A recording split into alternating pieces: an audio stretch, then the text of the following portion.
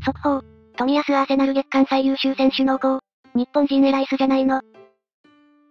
10月の最優秀選手の候補者を発表し投票を開始したアーセナル。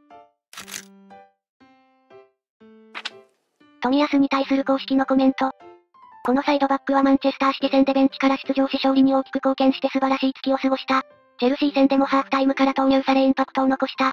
セビージャ戦では先発を任され堅固な守備陣の一翼を担って大勝を収めシェフィールドユナイテッド戦ではプレミア50試合目の出場でアーセナル初ゴールを決めて今月を締めくくった。投票開始数時間後。海外ブーナーの反応。正直ライスだけど富を押すぞ。ライスはこれからいくらでもチャンスあるだろうしここは一旦富にあげたいな。タサポイや富安が何したん最優秀選手はゴールしなきゃダメってこのイングランドフットボールの悪しき風習どうにかならんかね。8時間後現在。日本人の反応。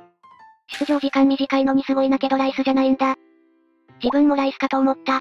ポジショニング指摘されがちだけど90分通して攻守ともに最高だし。最近のパフォーマンスプラス初ゴールのインパクトも関係してるのかな。